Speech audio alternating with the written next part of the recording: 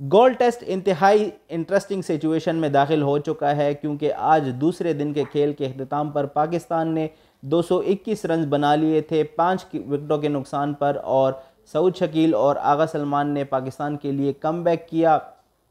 इस test match के अंदर पाकिस्तान को बेसिकली उन्होंने कम करवाया, क्योंकि 73 रन पर चार खिलाड़ी आउट होने के बाद ऐसा लग रहा था कि श्रीलंका जो है वो काफ़ी बड़ी लीड ले लेगा इस फ़र्स्ट इनिंग्स में, लेकिन कप्तान बाबर आज़म, इमामुल हक, शान मसूद और अब्दुल्ला शफीक के आउट होने के बाद सरफराज भी आउट हो गए और उसके बाद जो सऊद शकील और सलमान अली आगा के बीच में पार्टनरशिप हुई, वो पाकिस्तान को बेसिकली मैच में वापस लेकर आई। यहाँ पर सबसे ज़्यादा नोट करने वाली बात ये थी कि शान मसूद ने बहुत ज़बरदस्त इंटेंट शो किया। तीस गेंदों के ऊपर उन्होंने उन भी दो तीन अच्छी शॉट्स खेली, लेकिन वो भी बड़ा स्कोर करने में नाकाम रहे। फिर सऊद शकील और आगा सलमान ने पाकिस्तान की जो इनिंग्स है, उसको सहारा दिया। स्ट्राइक को बेहतरीन तरीके से रोटेट किया, जहाँ पर उनको लूज़ बॉल्स मिली, वहाँ पे उनको भरपूर तरीके से जो है वो पनिश किया।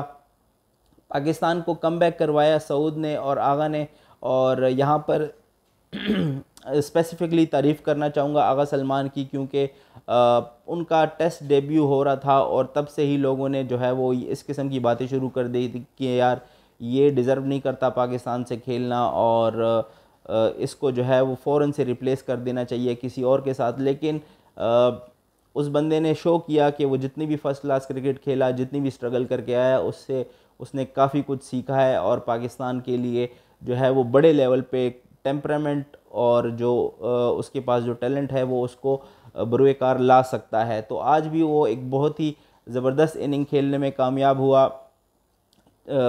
चार उसकी टेस्ट फिफ्टियाँ हो चुकी हैं, एक सेंचुरी हो चुकी है।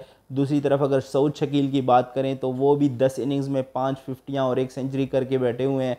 तो दोनों जो हैं, वो हमारे पाँच और छः नंबर के जो बल्लेबाज हैं, वो अच्छा खेल रहे हैं, इस वक्त मज़ेदार खेल रहे हैं। आगा सलमान तो खैर थोड़ा नीचे खेलते हैं बट यह है कि इनके जो करियर के स्टार्ट हुए हैं, बड़ा ज़बरदस्त नज़र आ रहा है।